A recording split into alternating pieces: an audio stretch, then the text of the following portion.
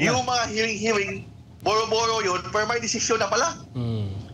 After naputuhan, wala pang limang minuto, may resolution na.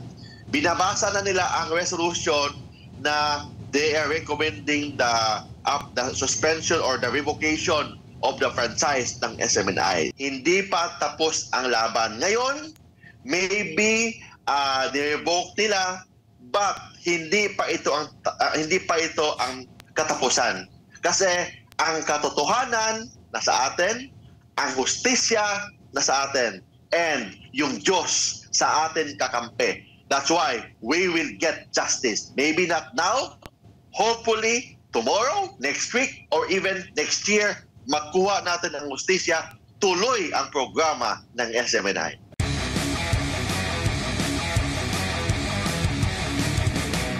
Attorney, kahapon, kagabi po ay uh, inilusot na sa third and final reading yung House Bill po na babawi sa plangkisa ng Suarezug Media Corporation na ga-operate nga dito sa SMNI. Ano ho ba yung uh, uh, pananaw at uh, baga posisyon po ninyo hinggil nga po dito sa pag-aproba ng Kamara? expected naman yan, uh, Jade or Edmar. Ay di naman natin masasabi na magbago yung isip nila. Kasi nakita mo naman from the very start na alam naman natin na yung ginagawa nila, ito yung gusto nilang gawin. Ang ginagawa lang natin, na, na-delay lang kasi pinaglaban natin.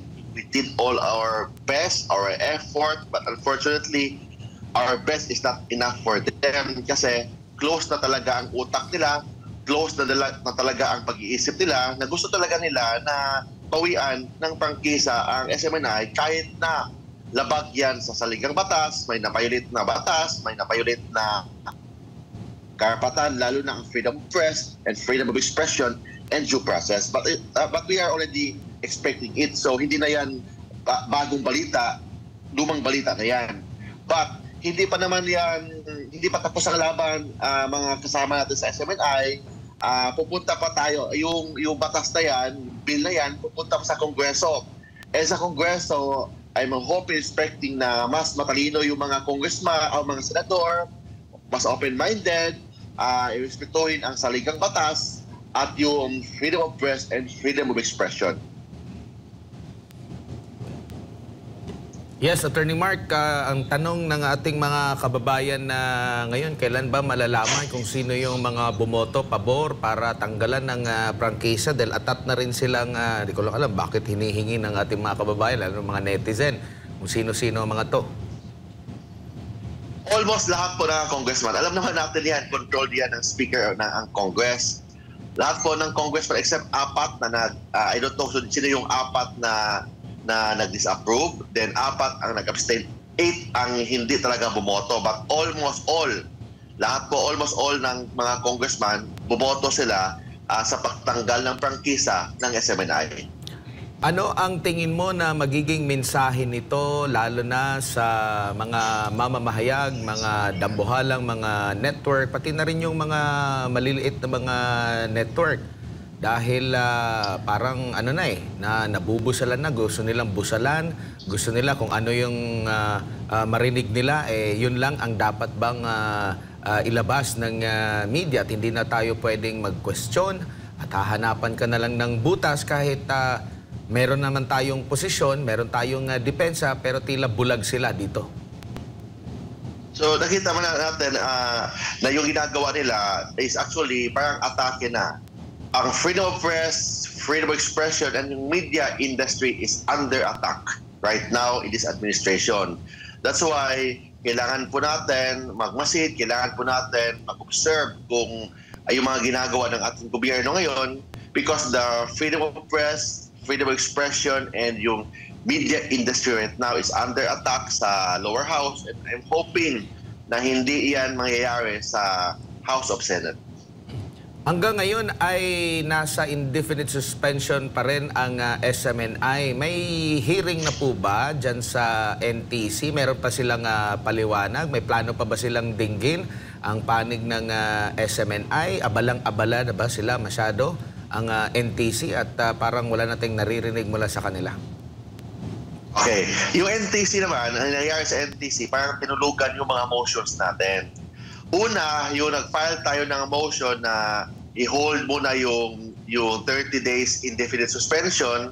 Nag-file, dan, ang ginagawa lang kasi ilang ilang araw hindi nila ginagawa yung trabaho nila, nag-file tayo ng motion na sagutin na nila. Kung i-deny man nila yan, i-deny nila para matapos na. So, good thing kahapon or isang araw, ah, natanggap natin yung resolution ng ng NTC denying the our motion for reconsideration para at least pwede na tayo mag-file ng petition for certiorari sa Court of Appeals.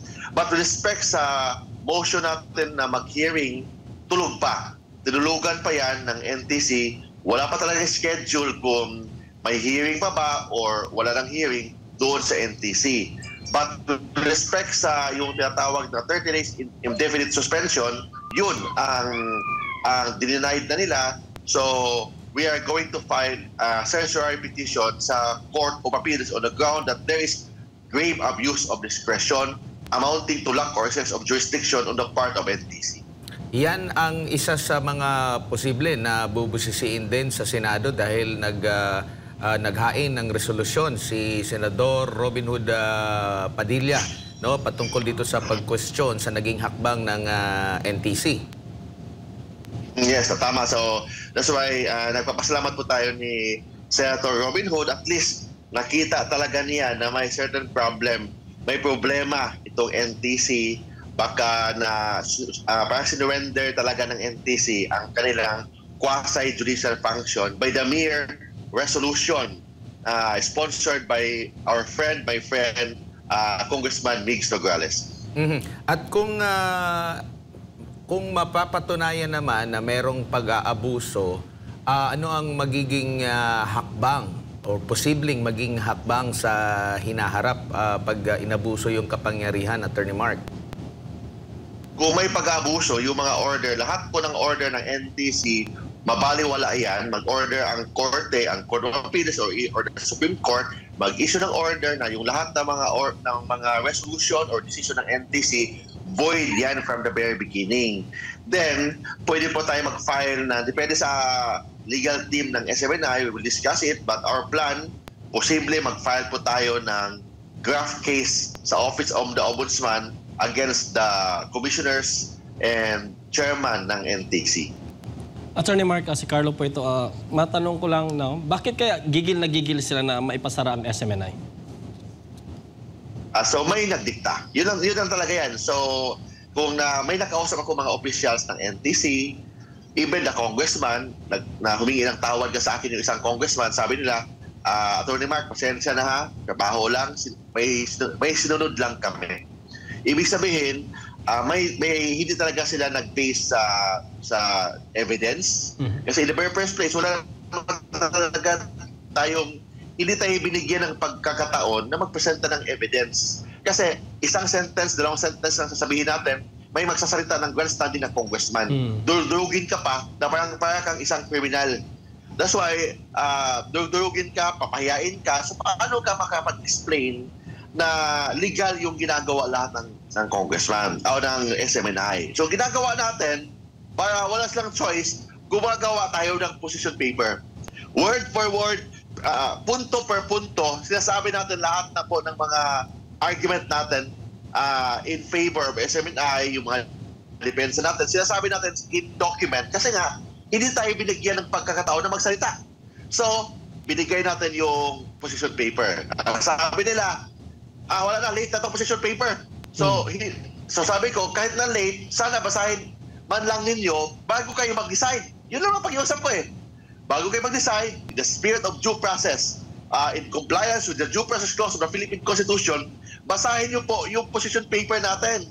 Pinaguran po namin ng legal team yan. Basa- Basahin niyo man, niyo man mu- muna bago kayo mag-decide. Unfortunately, if you if you check the videos ng ng Congress yung sa yung sa committee after nila magbotohan wala pang limang minuto may committee report na Mm. ang bilis ibig sabihin Prepared na? yung mga hearing-hearing boro-boro yun pero may desisyon na pala Mm.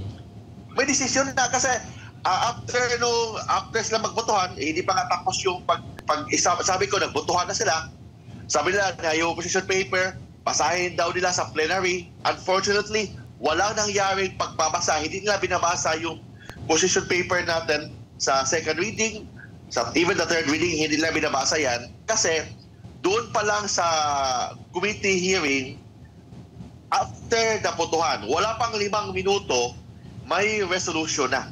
Binabasa na nila ang resolution na they are recommending the up the, dina, the the suspension or the revocation of the franchise ng SMNI. So halata halata, mapansin nyo man yan na at least bi- binigyan man nila ng isang araw bago sila mag-issue ng, ng committee report. But in this case, after botohan, wala pang limang minuto, may resolution na. Klarong-klaro na may, nagdi- na may nagdikta sa kanila.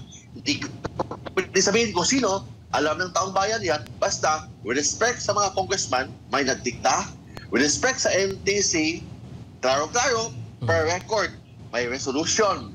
Ang isang congressman, kasama pa natin dyan, kaibigan pa natin, gumagawa ng resolution urging the NTC to suspend. Ibig sabihin, itong NTC naman, nadiktahan naman. Mm. Sinuspend, oh, sinurrender nila ang kanilang quasi-judicial power sa mga congressman. Nag-base lang sila sa kanilang desisyon based sa mga sinasabi ng mga congressman. So, halata-halata na yung due process ng SMNI hindi talag na-violate talaga. Nakita naman natin sa NTC, sila ang huwes, sila ang fiscal, sila din ang executor. So, ngayon ko lang nakakita ng isang korte, isang quasi-judicial body na sila lahat, sila pa ang complainant, sila ang fiscal, sila din ang huwes. Alright, attorney, um, nabanggit mo yung position paper ng uh, SMNI dahil nga ah, dahil nga inilusot itong ah, House bill ng sin- ah, ng Kamara ah, dahil doon sa sinight nila yung mga violations, no? Alleged violations. Kabilang na nga yung ah, pagpapakalat daw ng fake news, ah, yung red tagging at ang ah, itong corporate offenses. Ano ba yung may, summary ka ba doon, attorney, para lang sa kaalaman ng ating mga kababayan doon sa position paper ng ah, SMNI? Haba-haba yung position paper na yan, ah, Jade, okay? In fact, isa ka sa nag, uh, nagbuhaton, ilang kilo yon. Mga I think that was uh, per per uh, set is about almost a hun- 50 to 70 pages per page. Kasama doon yung mga attachment. Una doon, sabi nila, may na-violate daw na, na provision na fake news. Sabi ko, wala fake news. Kasi, basahin mo po ang tinatawag na prangkisa ng SMNI, intentional and deliberate false information. Ang tanong, was there intentional? May sinadya ba na magbigay ng fake news or false information? Wala. In fact, in the Supreme Court decision ng US na kinopya natin sa Pilipinas, yung Times, uh, News Times versus US, ang kalagay doon na even erroneous or may pagkonting pagkakamali na pag-reporting kasi hindi naman tayo perfect, may, magka, may minsan magkakamali tayo, kasi tao lang tayo. Even yung konting pagkakamali or may erroneous or inaccurate reporting is still covered by the freedom of press and freedom of expression guaranteed under the Philippine Constitution. Yan. Hindi nila pinansin yan. Second, yung tinatawag na hindi na tayo nagbigay ng hindi na tayo nagpaalam sa Kongreso sa mga pagbabago sa mga shares of stocks. Klaro-klaro naman doon sa sa ating prangkisa na magpaalam na tayo sa Kongreso kung ang shares of stock is ah, yung tinatawag na controlling interest na ang naepektuhan. Ibig sabihin ng controlling interest, more than 50%. In this case, ang kingdom of Jesus Christ is still controlled more than 50%. So wala namang nagbabago. Ang controlling interest still the kingdom of Jesus, the, the, the executive pastor of the kingdom of Jesus Christ. So ibig sabihin, there is no controlling interest na naepektuhan. So hindi kailangan talaga mag-report. Like for example, yung 1.5% na share ni Pastor Apollo Kibuloy na dinonate niya sa isang sa isang kooperatiba. That's only 1%. So paano natin i paano ah, wala na violate na batas kasi ang very clear batas magpaalam tayo, magbigay tayo ng information sa Congress, sa Committee on Franchise, pag naepektuhan ang controlling interest, meaning more than 50%. And ang third na in-issue naman nila, yung marami pa, marami pa, Nak- actually nakalimutan ko na iba. Basta number three, yung tinatawag na na franchise, yung more than 50%, and yung tinatawag na uh, offering to the public, yung 30% offering to the public. Sabi ko, we are on the process of offering the shares of stocks of Suarso Media Corporation to the public. In fact, 1.5 binigay na natin sa sa isang kooperatiba. Ang tanong, bakit daw hindi natin binigay agad-agad? Hindi natin pwede i-compare ang Suarso sa ibang korporasyon. Kasi sa, sa ibang media corporation, nakalagay doon sa kanilang prangkisa na within 5 years, dapat yung 30% ibigay sa public within 5 years sa ibang mga prangkisa. But with respect to Suarso Media Corporation, wala nakalagay. So pwedeng 6 years, pwedeng 7 years, pwedeng 8 years, pwedeng 10 years. It means walang intentional or deliberate uh, intention to commit any or violations of the law. So we all comply with the law. And lastly, yung pagdagdag natin ng, ng subscription, dati kasi ang Suarsug, maliit lang muna yan, nag-start yan na 50 million ang capitalization ng Suarsug. Ngayon, umabot na ng 650 million. Ang tanong, kailangan ba bang i-inform ang Congress kung dagdagan ang shares of stocks ng, ng Suarsug? Hindi. Kasi ang sabi ng batas, sale lang. Pag nagbenta ka, in, with respect to controlling interest, yan, pwede ka magpaalam sa Congress. But in this case, walang pagbebenta. Kung hindi, tinagdagan ang capitalization from 50 million to 650 million. Ang tanong, is subscription or ang pagdagdag ng capitalization is considered sale? No. Basic yan. Nakalagay yan sa may mga jurisprudence sa ating Korte Suprema or even expert in corporation law that subscription is not equivalent to sale. Therefore, there is no need to inform the to inform the the House of Representatives. And lastly, uh, uh, Edmar, yung tinatawag na uh, yung tina- da- dami yun ha, yung tinatawag na basta marami, I for, forgot sa iba, yung yung subscription, okay na subscription. So, yun talaga ang lahat na sinasabi nila na na violate natin, na sinagot naman natin isa-isa yon. So, wala talagang violation. And lastly pala, yung discrepancy. Walang discrepancy sa pagsubmit natin sa SEC and pagsubmit natin sa Congress. Bakit walang discrepancy? Kasi, nung nagsubmit tayo sa Congress, April of 2021. Of course, April 2021 tayo nagsubmit, ang GIS na atas natin is the GIS of 2020. Bakit hindi 2021? Kasi ang meeting, ang board meeting na Suarsog is July of 2021. Therefore, ang sagot talaga natin, April tayo magpadala sa Kongreso at saka sa SEC, yung 2020. Kasi ang meeting ng Suarsog, yung board meeting is July of, 20, of every month. So therefore, April pa natin nagpadala sulat. So yung last year na GIS muna ang na-attach doon sa letter ng na Suarsug doon sa Congress at saka sa SEC. Mm. Pagdating doon sa red tagging, attorney, isa din yan sa ibinabato sa SMNI. O yung tinatawag na red tagging, there is no law na nag-violate ng red tagging.